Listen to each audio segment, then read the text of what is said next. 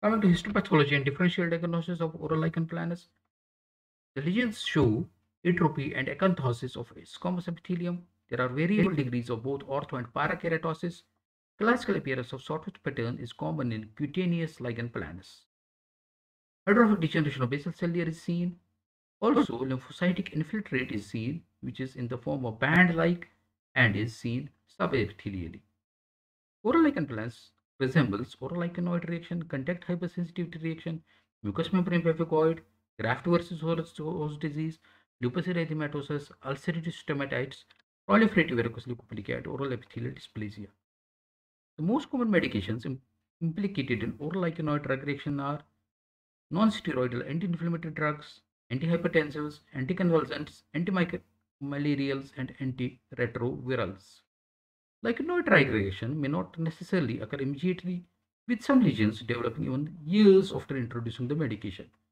Diagnosing a lichenoid reaction is difficult, and thorough clinical history may aid in identifying the offending drug. The contact hypersensitivity reactions are typically seen on the mucosal surface in direct contact with offending agents. These offending agents may include dental restorative materials, or flavoring agents, for example, menthol and eugenol.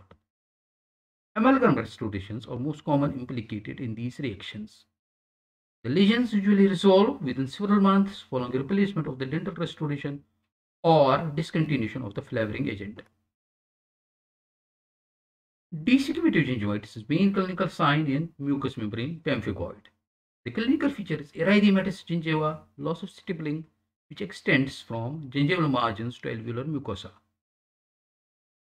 These may be mild, these may be in the form of small patches, or sometimes these are widespread. Mucosal erosions mimic oral lichen planus.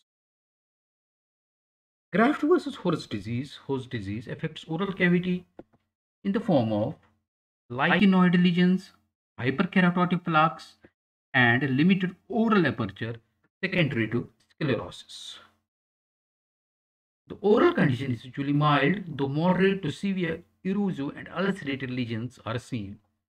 The diagnosis is established from clinical characteristics, though confirmation through biopsy is needed. Local corticosteroids are the treatment of choice and overall response rates are close to 50%.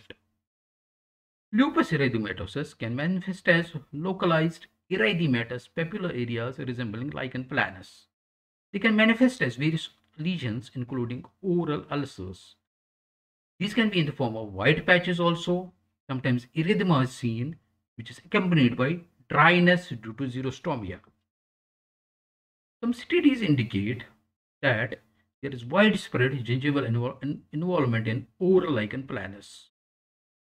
Oral lichen planus can have sometimes high malignant transformation rate. In some studies, about up to 20% of the malignant transformation is seen, but mostly only 2% of lichen planus transform in malignancies. Thank you.